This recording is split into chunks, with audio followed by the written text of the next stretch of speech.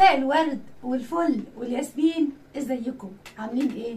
النهارده أنا جايبه لكم طريقه سهله جدا جدا لتلميع الفضة. طبعا كل واحدة كانت بتغلب وتقول أنا المع الفضة إزاي وبتضطر إنها تروح مكان تاني. وأنا قلت لكم عشان أنتم عيلتي الكبيرة كل حاجة هلاقيها سهلة بالنسبة لي وتعلمتها لازم أعلمها لكم. تعالي معايا وبحاجات بسيطة وتكاليف قليلة جدا جدا ممكن تلمعي الفضة في البيت. أهمها البيكربونات. هتقولي البيكربونات دي إيه؟ وبتتجاب منين؟ حبة صغيرين من عند العطار بخمسة جنيه بس. وورق foil وكمان مناديل ومية مغليه وتعالي معايا أوريكي إزاي هننضفها ونلمعها بفترة قليلة جدا. تعالي معايا. اخترت حاجتي الفضة زي ما أنتم شايفين والسلسلة بتاعتي شوفوا مطفية قوي إزاي. أنا كل أسبوعين بحاول ألمعهم. أدي السلسلة وأدي. الخواتم بتاعتي برضو هحاول ألمعها قدامكم. شوفوا شكلها عامل إزاي وهتبقى عاملة إزاي. تعالي بقى هقول لك على طريقة سهلة جدا. أولها البيكربونات المية المغلية أهي وادي ورق فويل. ورق foil أحطه كده في قلب بولة. أنا شايفة كده؟ البولة أهي مع ورق ال foil. وأحط كده واقوم حاطه حاجاتي الفضه لغايه كده okay؟ تمام؟ همسك البيكربونات زي ما انت شايفه كده واعملها كده وافرد بيها الخاتم بتاعي.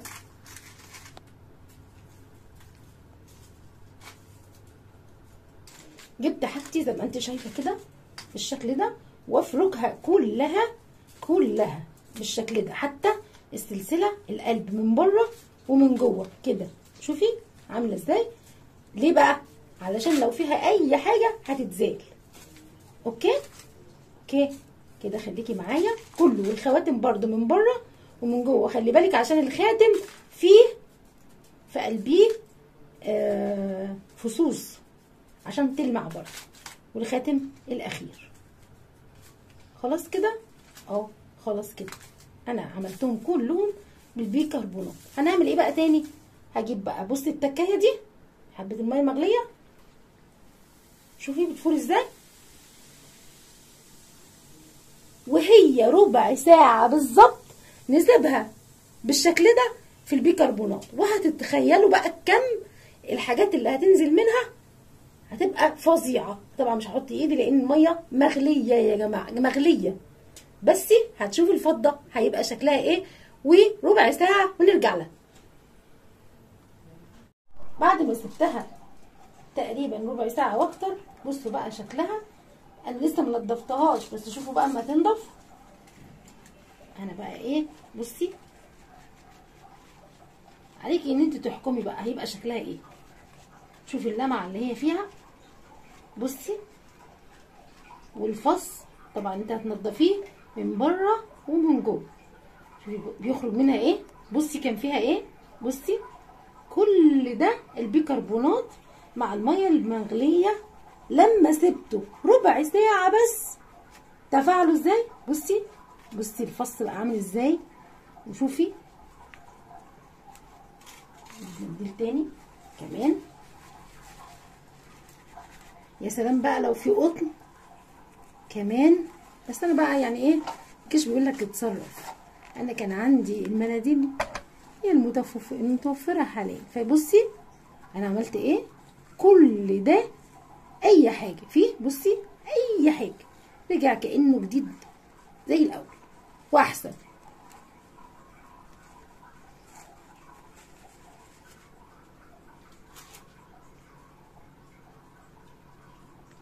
بصي شكله تحفة إزاي؟ شوفي التاني بقى كمان. الله. تحفة. الله. والله رجع جديد. شوفي تحفة إزاي؟ والفراشه باينة. كانت مطفية خالص. لسه السلسلة بقى أوريكم. الله. شفتي الخاتم؟ تحفة إزاي؟ جميل. نشوف بقى كمان.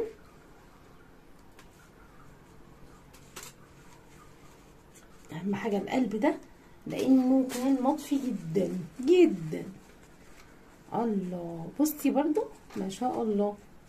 سلسلة هحاول بقى برضو أعملها كده قوي. يا خبر أبيض شوف صفار ينزل منها حاجة كده عاملة زي الصفار. ممكن يكون آثار مكياج آثار برفان. من جوه القلب بقى برضو. بصي شوفي القلب بيطلع منه إيه؟ شايفة؟ شايفة؟ كل ده كان جواه. ده القلب كان شايل كتير. بس إيه رأيكم؟ فلة شمعة منورة. الله عليا والله. شفتوا؟ أي حاجة أي حاجة. بعرفها بقولها لكم إزاي؟ أهو. السلسلة رجعت أحلى من الأول. وشوفوا النظافة والجمال. ولا تقولي لي بقى تنظيفة عند راجل وتروحي تتكلفي قد كده. أنا كنت الأول الأول بوديها كل فترة للراجل وبكسل برضو بيني وبينكم يعني. أهو شوفي تحفة إزاي.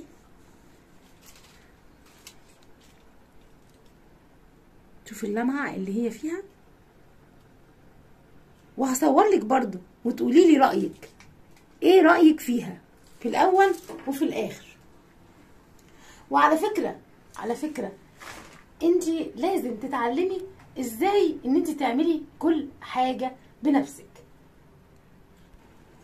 طبعا بالصور اللي أنا هوريها لك هتعرفي في فرق كبير بين الخواتم وبين السلسلة في الأول من الأول وبعدها. دي حاجة الحاجة التانية أنا امبارح لما عملت المريالة جالي تعليقات حلوة جدا. طبعا أنا بشكر كل اللي بيدعمني سواء بلايك أو بكلمة حلوة في التعليقات. والكومنتات دي بتبقى هي همزة الوصل ما بيني وما بينكم. بفرح جدا لما أي حد بيعلق بكلمة كويسة أو حتى وحشة. بشكركم جدا على تعليقاتكم وخاصة أستاذ أحمد عبده اللي بصراحة ما بيفوتش أي فيديو إلا ما بيعلق وبيقول على حاجتي وكمان أحمد أبو زهرة بشكره جدا جدا لأن هو بيدعمني من أول ما فتحت القناة وبيساعدني كتير فيها. وكمان آه أستاذ مجدي العموري آه برضو كل فيديو دلوقتي يعني بيعلق لي عليه وبيشوف وبيدعم. ومعظم معظم اللي بيعلقوا لي بشكرهم جدا على دعمهم وبفرح قوي باللايكات وأي comment أي comment مهما كان بيدعمني ويشجعني ويخليني أستمر. طبعا بشكركم جدا جدا كل عيلتي التانية. بشكر على تعاونكم معايا وبحبكم في الله جميعا و bye bye